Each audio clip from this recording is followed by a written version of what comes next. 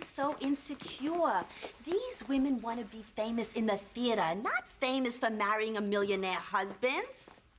Oh my God, there's Marla Maples.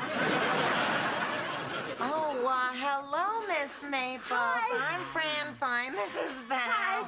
Oh, I must say, I am just so sorry about you and the you-know-who. But I'm sure that you must have met someone already and you're completely unavailable. Oh, honey, I am not about to go jump into another relationship. I'm on my own and I've got my career going on. Oh, yeah, yeah. Well, you know, it's really none of my business. Break a leg. You see, Fran, she's not after Mr. Sheffield. Val? You thought I was after Maxwell?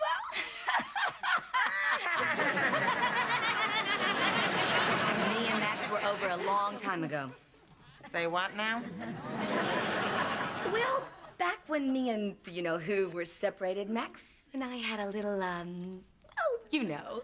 Uh, no, I don't know. Embellish, Bubby. Well, we sort of uh well we kind of well, we really flirted a lot.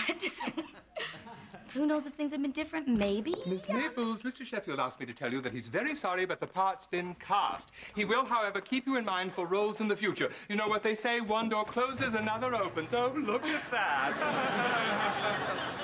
I have not waited around five years for some little shiksa to come in and ruin my wedding. Oh, thank you, Niles. you know, you could be Ma if it weren't for the whiskers. Although,